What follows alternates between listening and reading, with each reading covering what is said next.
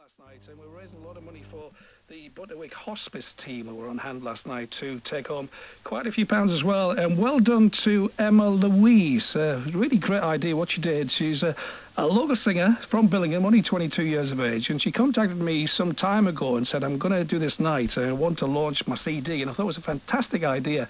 Uh, she launched a CD called Don't Go at the Swan in Billingham last night, but the whole theme was to get the Butterwick Hospice involved as well and to give them some money. So if there's a hospice involved, because I've lost so many good people in my life uh, and I've seen the great work that the hospices do, then it's always good to attend. So well done to everybody who attended last night. It was a full house and great to see the place absolutely rocking last night uh, at the Swan in Billingham. And Emma Louise released a single, and she, well, it was an EP of her songs.